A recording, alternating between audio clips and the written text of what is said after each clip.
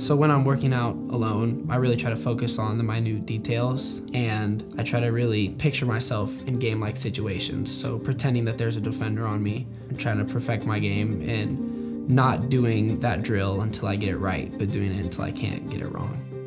AJ was born into this life.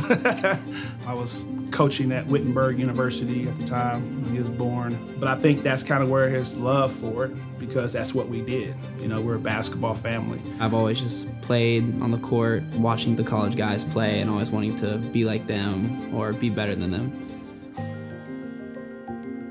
I think athletics are a really important part of the student experience at Wellington, but really even beyond Wellington as well. I think there's so many life skills that can be learned through athletics resiliency, hard work, commitment, and I just think that in an athletic environment, those areas are tested in a unique way. We have the learning that goes on in the classroom, but we also like it to extend to the athletic fields. And I think athletics brings life lessons to our students that they can use beyond uh, the playing fields and basketball courts.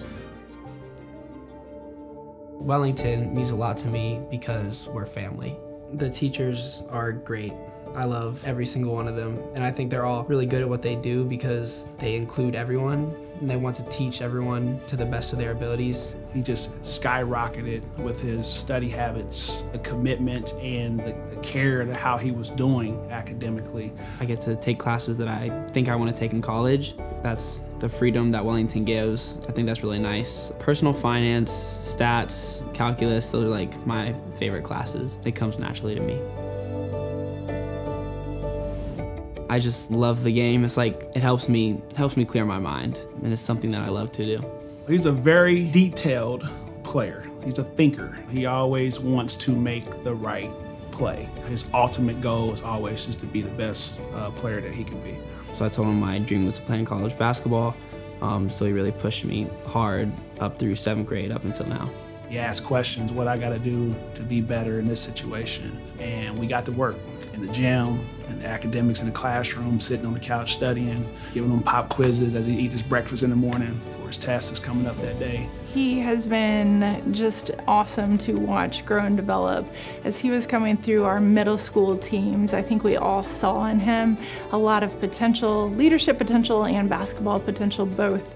But over the years, particularly through his junior and senior year, he has just evolved in who he is as a young man. To see him grow to where he is now, the ebb and flows, I don't think once he ever questioned if this was something he wanted to do. On the court, I think it's prepared me to be a leader, using my voice, expressing myself, and like off the court, I think it's taught me to push me out of my comfort zone. Emotionally, it's like taught me to be in touch with my emotions, to have courageous conversations with people, um, speaking my truth. And so I think it's just pushed me to be a better person in general. Every coach will tell you there's ups and downs in, in coaching your son, uh, but it's an experience that many parents, once they try it out, say, man, they're glad that they're able to do it. So it's been, it's been phenomenal.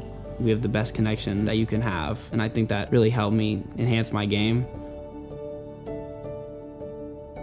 He really cares about the people around him, and he really cares about the people he don't know.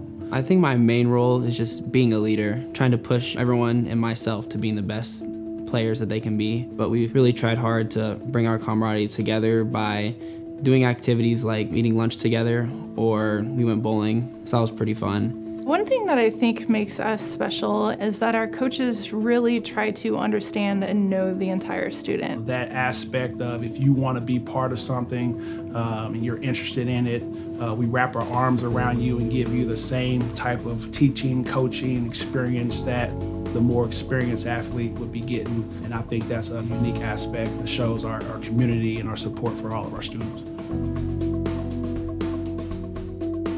Wittenberg wasn't top on his list uh, initially. He had many other schools up there, and just over time of him doing his extensive research, they, they rose to the top. I think Wittenberg was probably just ingrained into me from all along. Just remembering them like banging on the lockers and that chant, and I would just clap, let's go Wit, let's go Wit. Just remembering doing that. So I think that's just ingrained in me. Oh man, so y'all gonna make me cry. Uh, uh, sorry. Every parent wants their kid to be the best, right? Um, in everything that they do. He's worked for it all. And the, the biggest thing I want for him is to never get comfortable. I think it's just I want to be the best that I can be. Even if I do good, I could have always done better. So I think the more I work, the better I can do. Um, trying to trying to get to perfection, knowing that I'll never be perfect.